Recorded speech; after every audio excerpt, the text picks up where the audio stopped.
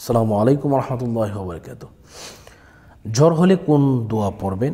আসুন আমরা জেনে নিই। তীব্র জ্বর যদি আপনার হয়ে যায়, তাহলে আপনি এই দোয়াটা আপনাকে পাঠ করতে হবে। তা হচ্ছে আল্লাহ রসুল সাল্লাহ ইসলাম বলেছেন, তোমাদের মধ্যে যদি কেউ জ্বরে আক্রান্ত হয়ে যায়, সেটাকে, সেই উত্তাপটাকে এই দোয়ার মাধ্যমে কমে যাবে। সেটা অবশ্যই এই নিয়মে পড়তে হবে। কেননা আল্লাহ রসুলাম বলেন, জ্বর হচ্ছে জাহান নামের একটি টুকরা। এটা কমানোর জন্য ফরজ নামাজের পরে সূর্যোদয়ের আগেই প্রবাহমান জলাশয়ের কাছে যাবে, এরপরে সুতের দিকে তা ফিরে বলবে, এই দোয়াটা পড়তে হবে। এটা কি করতে হবে? সুতের দিকে তাকিয়ে এই দোয়াটা পড়তে হবে। বিসমিল্লাহি আল্লাহুম্মাশফি আবদাকা ওয়াসাদ্দিক রাসূলাক।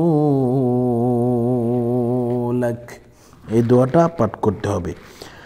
এরপর জলাশয়ে তিনটি ডুব দেবে। এভাবে তিন দিন করবে, তিন দিনে জ্বর না সারলে পাঁচ দিন করবে। পাঁচ দিনে ভালো না হলে সাত দিন করবে, সাত দিনে ভালো না হলে নয় দিন করবে। আল্লাহর হুকুমে নয় দিনের বেশি আর লাগবে না। সোহানাল্লাহ তাহলে আপনারা কি করবেন? এই দোয়াটি আপনারা পাঠ করবেন। এখন মনে করেন যে জলাশয় নাই।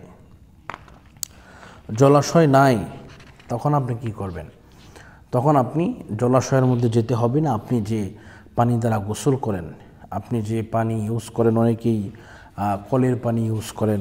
তাহলে কলের পানি আপনি যখন ইউজ করবেন, তখন আপনি এটি এই দোয়াটা এইভাবে পাঠ করবেন। অথবা আপনি যে সময় শরীরের মধ্যে পানি ডালতেছেন ওই সময় আপনি এটা পাঠ করতে পারেন। আর যদি আপনি ঝর্নার পানি দ্বারা গোসল গোসল করে থাকেন, তাহলে ঝর্নার পানি যে সময় আপনার শরীরের মধ্যে ঢালবেন, তখন আপনি এই দোয়াটি ইনশাল্লাহ পড়তে পারেন।